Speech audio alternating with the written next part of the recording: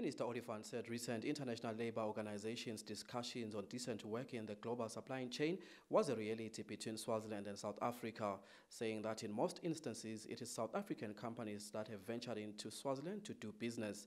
The minister said it was possible that some workers employed by South African companies in the kingdom could be victims of abusive practices that are inherent in supply chains. Oliphant said such malpractices needed to be confronted and solutions provided going forward. Minister, let me reiterate that the labor rights and protection of protocol in South Africa makes no distinction between a South African worker and a foreign national worker. The rights and protections extend to all without discrimination whatsoever.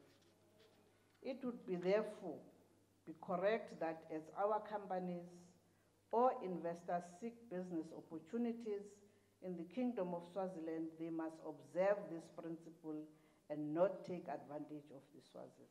The minister further urged companies to equitably share their profits with their workers, reminding employers that if there were no workers, there would be no profits to enjoy.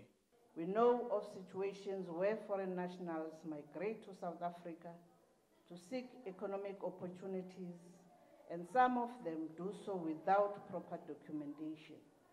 This has become the real reason why some employers exploit these workers, especially the farm and domestic workers. Employers always threaten to report them to immigration officials if they dare raise a complaint about being exploited. And for fear of being deported, these workers will then keep quiet. The visit by the South African minister and a delegation promises fruitful outcomes and a series of follow-up meetings which will ensure the implementation of these outcomes.